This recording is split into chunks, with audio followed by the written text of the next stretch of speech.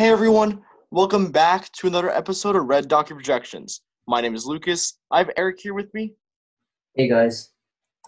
and today we'll be taking a look at the 2020 presidential election, and we'll be looking at uh, the Republicans specifically, who A, have endorsed Joe Biden already, B, have stated they will not be voting for Donald Trump, or C, um, have not made a comment on it and are, you know, kind of quote unquote struggling to do so.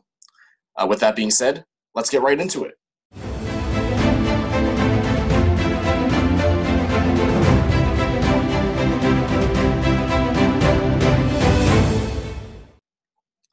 So we have a New York Times article pulled up here. Uh, very nice title here. Um, we'll be looking at most of these people individually, seeing who will not be um, supporting at the moment uh, Donald Trump for president. So if you all remember last year, uh, most of the Republicans did endorse um, Donald Trump. Some notable exceptions were Jeb Bush, John Kasich, who actually voted for John McCain, and um, George W. Bush. So we'll be taking a look at some of these people. Um, I think the first big name we need to discuss here is Secretary of State, former Secretary of State under George W. Bush, Colin Powell.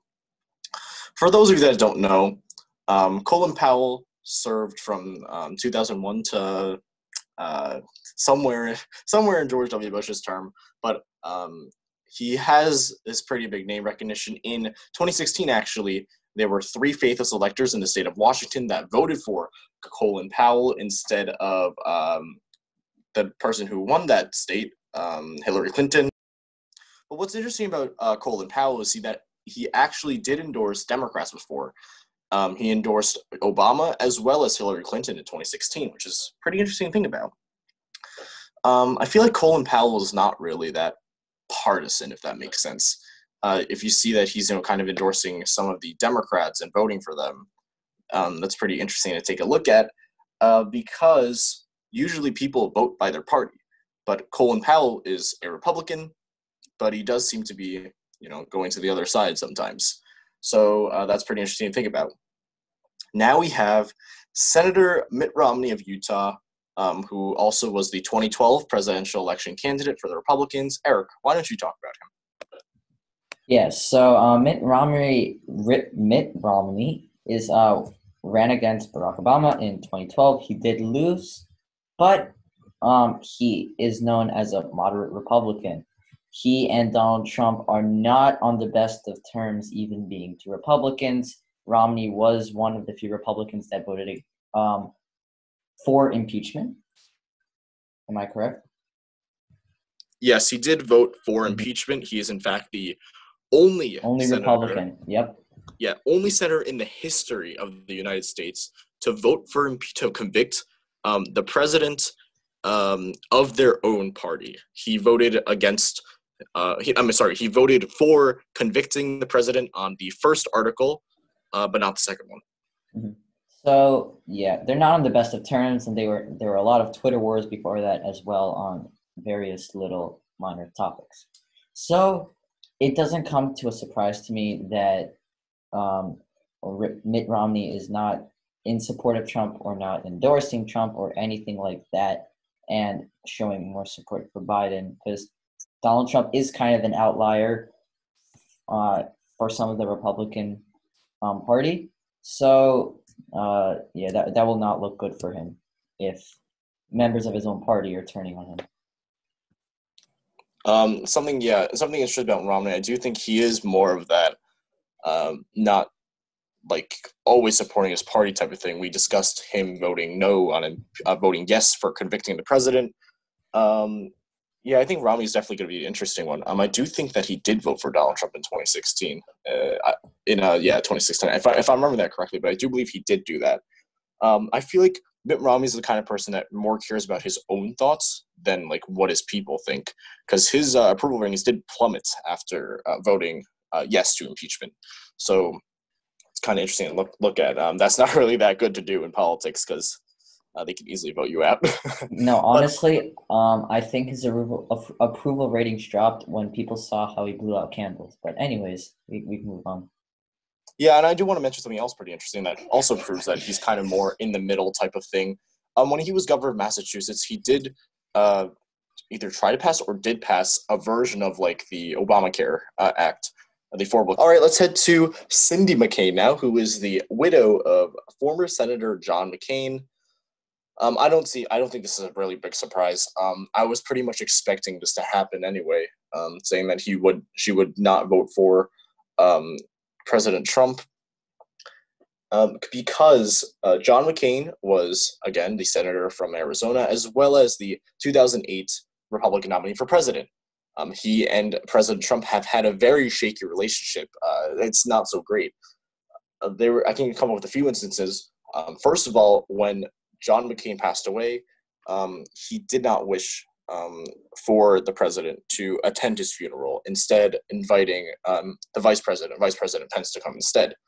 Another example I can think of is in mm, 2016, uh, while he was on the campaign trail, uh, Trump made some controversial comments regarding um, John McCain being a quote unquote war hero. Um, that's up for debate somewhere else, but um, it did cause you know kind of rift between their relationship. And the third one I can think of is um, John McCain uh, voted no on the plan to repeal uh, the bill to repeal uh, uh, Obamacare, which obviously the Republicans, like uh, President Trump, wanted to repeal. Uh, that did not happen, um, and he was the sole vote that decided that. So there was a very shaky relationship between the two of them. to putting that into account, I do think that Cindy McCain not endorsing President Trump, as well as almost being almost certain to support Mr. Biden um, is pretty interesting to think about. Um, again, this is kind of crossing party lines here. So I, I, I'm not surprised here. Yeah, so um, let's move on to President George Bush was, uh, Jr. Um, he was um, a moderate Republican. He mm-hmm. he served two terms because um, you know, more moderate politicians do get kind of more support for not taking a side. That's that could be controversial, and they he also does not align with um, Donald Trump's views too much, so he's not gonna support him for reelection, which is said in the article. Now Lucas will move on to his brother Jeb Bush, governor of um, which state? Florida. Yes, he was Florida, the former governor of Florida a pretty long time ago, 2000. I'm not surprised here about Jeb Bush not endorsing either. He didn't endorse in 2016 either. Um, now, the reason why I, I think Jeb has been having you know this kind of issue with uh, Trump is they, they have been having a lot of disputes. Um, if you guys remember back in the 2016 election, oh my gosh, the debates were pretty feisty between the two of them. Um, obviously, that's going to be a riff, and uh, Jeb is more, more moderate than um, President Trump is. So it also makes sense why he wouldn't be endorsing him either. Uh, Jeb isn't sure how he'll vote, but um, I don't. If you want my guess, I don't think he's going to vote for um, Joe Biden either. Um, my guess is that he's probably going to write in a name. Same with uh, former President Bush. Um, yeah, it's just kind of this this relationship issue. Uh, politics is all about relationships, um, and you know I don't I don't think I, am not surprised by this decision. Alrighty, um, let's talk about um, let's talk about some other people that are, might not not be on this list. Uh, let's talk about possible ones. Lisa Murkowski of Alaska. Uh, she is one of the more moderate Democrats. She came out with a statement a few days ago saying that something about the GOP party. Um, you know, this kind of makes me think um, maybe she won't endorse Trump in 2020. I'm not completely sure, but it, it does make you start to think are they going to endorse them or not? After that statement, I have no idea. I don't know what's going to happen. Um, with Lisa Murkowski put aside, now let's talk about Paul Ryan and John Boehner. These two are uh, prominent Republicans. Um, John Paul Ryan was the previous Speaker of the House before Nancy Pelosi and before his retirement. And before that was John Boehner of Ohio. Uh, yeah, Paul Ryan's from Wisconsin. Um, I'll talk about Paul Ryan here. Um, Paul Ryan uh, claims that he retired in 2017 because he wanted to spend more time with his family. I'm going to be honest, I don't think that's the main reason why. I think there is a deeper reason. And to be honest, I think what that deeper reason is, is it has to do with the president. Um, I don't think that their views have like exactly aligned the past few, and their their relationship has been kind of rough. So I think he did that to kind of find a reason why, and like kind of say why he wants to resign. Um, He- but yeah, that's my assumption. He tried to be all smiles during Trump's State of the Unions with that very memorable smile, but deep inside, yeah, it, it wasn't working out. So I don't think Paul Ryan is in support and will will not support him in the 2020 election. Right. He hasn't made a comment publicly yet, um, but he is kind of struggling to endorse because you know many of the GOPs have already endorsed the president already. Uh, John Boehner is also another surprising one here. Um, I actually, I'm not sure actually. John Boehner, I think maybe will endorse him, but it's kind of surprising that you have two speakers not endorsing, um, or two former speakers not endorsing the president. Um, that's kind of interesting to think about. Part of the same party. Yeah, generally, I don't know. It's pretty interesting. Um, John Boehner. Um, let's see. Was there any other ones? Hmm. You want to talk about James Mattis or Oh yes, James Mattis is an important one. Um, Eric, why don't you talk about him? Let's let me give some background first. He was essentially the former uh, Secretary of Defense before he resigned, um, citing issues with the president regarding was it Syria? I think it was pulling troops out of Syria. Mhm. Um, he is an independent, um, but he was uh, serving as the um, Def- Secretary of Defense under Trump.